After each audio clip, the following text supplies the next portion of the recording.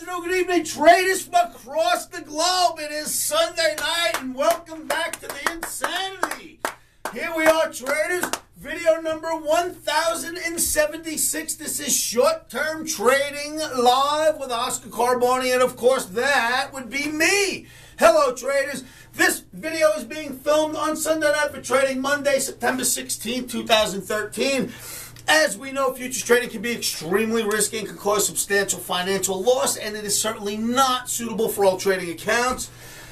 In this business, a stop can certainly be your best friend. Never trade without stops. All right, what's on the board for Sunday night? Trade is where we left off in my chat room all week long. I've been saying this on Friday, especially. We had no less than four Omni flip flops last week. Four. It flipped Monday, Tuesday, Wednesday, and then it flipped again on Thursday night for Friday. And I'm thinking, insanity. All that this means is it can only mean one thing.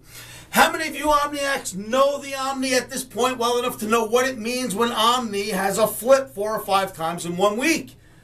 Yes, I'm sure you're answering this question right, some of you.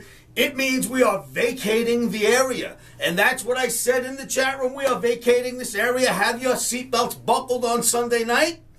We opened up Sunday night and exploded 17 higher in the S&P. It just opened up gangbusters out of here and vacated the area. So bravo for Omni knowing it was going to vacate the area. Problem is, it doesn't tell you which way you've got to do your daily analysis every day to know why it's flip-flopping and then you follow the market which way it goes. So, with that in mind, ES opened up so much higher, we don't have a trade that we can get into yet. Russell is up there, we don't have a trade we can get into yet. The NASDAQ, it's iffy. We may end up in a NASDAQ trade on the long side for Monday. We'll see what happens. I will keep you posted. So I went, I thought, all right, if I can't find the trade a safe area any longer now that we've had this higher opening in the U.S. indices, let me go shopping. I figured I'll go look at a couple of other groves and see if I can find another money tree somewhere. What did I find? Gold is a sale of rallies. I will show that to you on the chart. If it rallies, sell it tonight, tomorrow. Corn is in a head and shoulders pattern, and this particular head and shoulders pattern should be bearish because of where it sits on the chart. So corn lower, gold possibly lower. Well, gold is going lower. Corn possibly lower because of head and shoulders. And I want to tell you this about indices traders. I'm only going to show you one index or indice chart this evening. I'm going to show you only one of the charts, and here's why. Remember that you heard this from Oscar, and I've been telling you this for I don't know how long now, but listen. The indices. Do not listen to the nuts out there. This is a bull market. I got calls, emails, people in my chat room all night Sunday going, it's going down to 15. Hey, Oscar, I just wanted to let you know this is it. The big crash is coming. The dollar's going to crash now. Summers didn't take the job. It's over. Then the market opens and S&P 17 higher. Don't listen to these lunatics because they're so full of opinion they can't read a chart. If it jumped out and slapped them in the face, I kid you not. These people don't know anything about charts. How dare you call a guy like me and just tell me the top is in? I mean, I'm the guy that calls the tops, right? If you've been watching me for the last 10 years, you want to know where the top is in? Call Oscar. So if you call me and tell me the top is in and you don't have unequivocal proof on the charts, you're a nut. You're just calling the top because, like the people who call the end of the world, it's your time to call the end of the world. If it's your time to call the top and you cannot prove it on a chart, you are a nut. So please just use your charts. All right, traders. If you like these videos, if you like the analysis I'm about to show you in this chart segment, you subscribe to my videos at YouTube right here where you're watching them. Just hit the subscribe button, and each time I put out a video, you will get a, a video, uh, an email reminder. Now, with that in mind, I do one of these videos almost every night, and this video is good for tomorrow, Monday, the 16th of September. Now, we are day traders. We'll, it'll go up, it'll go down. We'll buy, we'll sell over the next few days. So listen, whatever I tell you for Monday is for Monday. What we talk about for Tuesday is for Tuesday. This video is for Monday. All right, traders, with no further ado, let's go look at some charts. Traders, the first chart I'm going to show you this evening is the December gold contract. This is the daily bar chart, December gold, And you'll see it's been in this channel, working its way through. Seems that if it hits the bottom, it works its way to the top, but that stopped working. And on Thursday and Friday, you had a bit of a nosedive. So you are outside of that channel and you are pointing lower. It looks like the gold should take it on the chin over the next few days. Then we've got something else to look at. Very simple, but very pretty. Traders, you are looking at a head and shoulders in corn. If you want, you can call this one a head and shoulders in corn, and look what happened. Well, bam. And then it had this little pull down, and if you want, you can call that another head and shoulders in corn, and look what happened. Well, here we are, a bigger head and shoulders. It is, has been in a bear market for some time. So a bearish head and shoulders in a bear market equates to lower, plus we have a red omni in corn. So there's a reason to look at the corn. There are others. If you look at right here, here's your flagpole. Here's your flag. You've broken down out of the flag, so you broke out of a bearish flag in the right shoulder of the head and shoulders, and you have a bearish omni.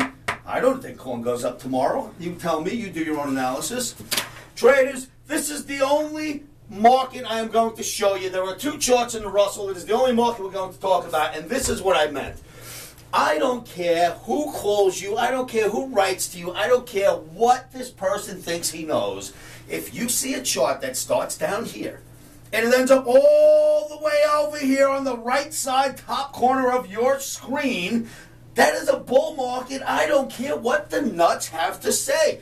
This is 2009 bull market, you know, it just it has pullbacks like any bull market rally, pullback, rally, pullback, rally, pullback, rally, pullback, little rally, pullback, rally, pullback. But interesting now, inside of this channel, we've gotten past any high we've ever seen in history in the Russell. Nice and quiet, gets above those highs very quietly in the form of a bull flag, no less.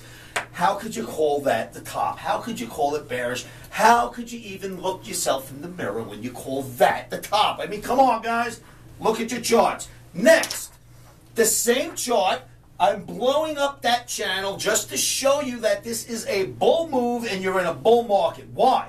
Since you've been in this channel, you hit the top of the channel, you have this pullback. When you get to the bottom, you make a new high. Now, interesting, this was the old high before the rally, went all the way to here. Then you had a pullback. And interesting, it started to rally. This was the old rally before the high, and boom, you went all the way to here. Now you've had a pullback, and we're starting to rally. This was the old high. What do you think comes next? It has to be this. That's the way this stuff works.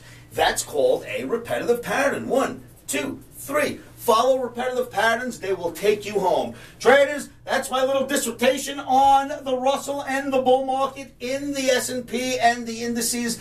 Everything has pullbacks. This is ready to go higher, not pull back. Do your homework. Take a look at that for yourselves. So, traders, we're back, and there is my argument for why we think the gold can come off, the corn can come off, and why the indices are bullish. Remember, anything can have pullbacks, but a bull market is a bull market. Now, traders, this I want you to remember. This is a motto of mine. This is an Oscarism, but I say it and prove it to you time after time. There are thousands of videos now. Since 2006 into 2007 we began these educational videos about trading markets. I have shown you i cannot tell you dozens and dozens of times when i've done something like this i've shown you that these repetitive patterns are really really helpful. So here's what i want you to remember. Repetitive patterns are the cornerstones to accurate technical analysis. There it is. Read it, write it down, live it. This is how professionals get through these rough and tumble markets. Traders, I hope you like this video. There's a lot more of these videos out there. There's 1,074, 1,075 now, just like this one. And you can find me at livewithoscar.com. Come into my free chat room. Don't you worry, there are no bullies in there. You will be welcomed when you get there. And guess what? It's not going to cost you a dime.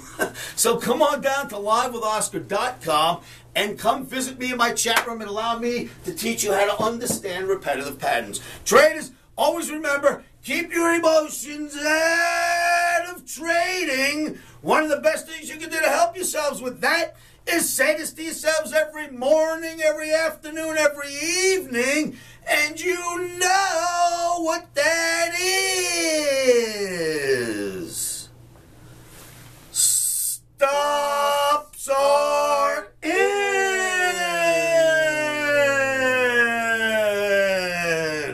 Don't you forget that. Emotions are out. Rock and roll video 1076, and I will see you at livewithoscar.com. Futures trading is risky and can cause substantial financial loss. We do not claim or guarantee that you will profit from the information provided.